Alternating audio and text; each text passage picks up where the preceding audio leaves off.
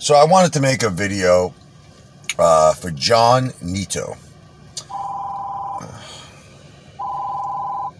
Sorry, I keep getting calls. It's crazy. John, my brother, salud, Gentani. So, um, I just wanted to say that John is an amazing guy. He's a Marine, first of all. He served our country, and I told him, God bless you for that. God bless your family.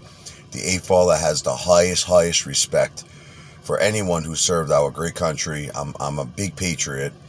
And um, one of my biggest regrets in my life is that I should have joined the Army Band, and I was so close to doing it. And it's one of my biggest regrets. That I should have did it.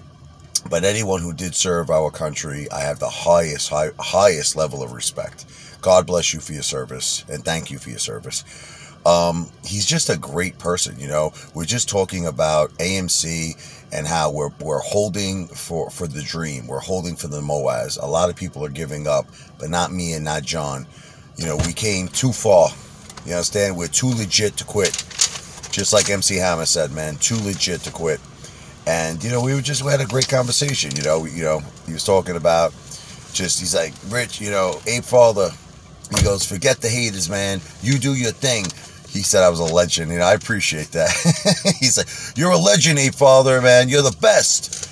And I just want to say, John, I really appreciate everything that you said to me, all the compliments and watching me and you know all your support brother it means a lot for me it really does it keeps me motivated it's kind of funny it's like you know I'm here to motivate you, you know what I mean? But when I get compliments and I get great support from such an awesome person like John, you know, Nieto, it gives the Ape Father the motivation to continue, knowing that I am appreciated. It's not all hate. There is some love out there. And right back at you, my brother.